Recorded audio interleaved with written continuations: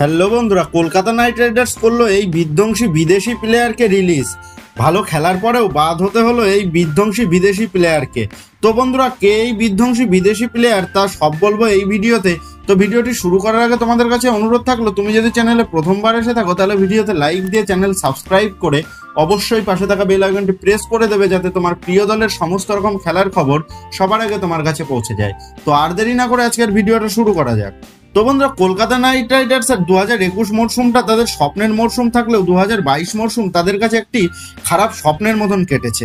দু হাজার বাইশ মরশুমে কলকাতা নাইট রাইডার্স টিম তাদের ভালো প্রদর্শন দেখালেও যতদিন গড়িয়েছে, ততই কলকাতা নাইট রাইডার্স এর খেলা জঘন্য থেকে অতি জঘন্য হয়েছে। আর সেই কারণেই দু হাজার বাইশ আইপিএল এর প্লে অফের কাছেও যেতে পারেনি শ্রেয়াস আয়ারের ক্যাপ্টেন্সি করা টিম কলকাতা নাইট রাইডার্স। তাই কলকাতা নাইট রাইডার্স ম্যানেজমেন্ট পরের মরশুমের জন্য একটা ভালো স্কোয়াড তৈরি করতে চাইছে, যাতে তারা চ্যাম্পিয়ন হওয়ার জন্য প্রবল দাবিদার হয়ে উঠতে পারে। তাই কলকাতা নাইট রাইডার্স ম্যানেজমেন্ট ধীরে ধীরে তাদের এই মরশুমে দলে থাকা খারাপ প্রদর্শন করা প্লেয়ারদের দল থেকে বাদ দিতে চলেছে। সেই মতো দু হাজার তেইশ আইপিএল এর স্কোয়াড থেকে টিম কে এর ফার্স্ট বোলার প্যাট কামিন্সকে ছেড়ে দিতে চলেছে।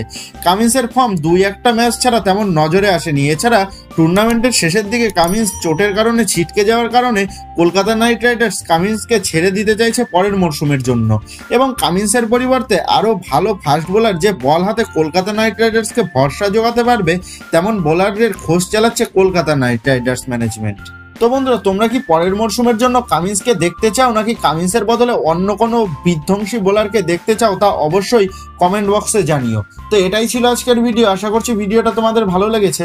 তো যদি ভিডিওটা ভালো লেগে থাকে, তাহলে ভিডিওতে লাইক দিয়ে চ্যানেল সাবস্ক্রাইব করে অবশ্যই পাশে থাকা বেল আইকনটি প্রেস করে দিও। তো আসি বন্ধুরা, দেখা হচ্ছে পরের ভিডিওতে